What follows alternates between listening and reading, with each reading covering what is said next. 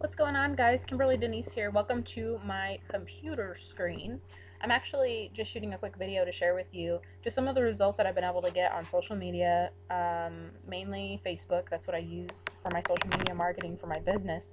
And I really don't show you these results to brag or to impress anyone, but to just show you what's possible when you know how to market, when you know uh, your target market, when you know how to engage with people, and bottom line, when you have a marketing foundation, when you have a skill set that enables you to know what to do, how to market, and who to market to to get results. So I'm not kidding you, literally every day I come in and I open up my friend request. Looks like these are brand new people that are interested in being connected with me, whether it's we're in the same business or we're in different businesses and they just want to pick my brain. Um, but I mean, this is very, it's awesome. It's awesome to have people that just want to connect with you.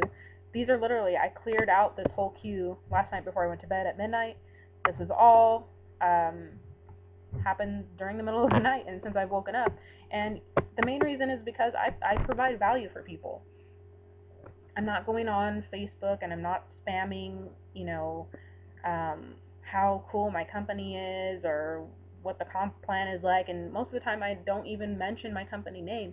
I'm just always providing value to people in some way or another, which is what you want to be doing. Again, here's my updates here and this is constantly at a large number because people interact with me.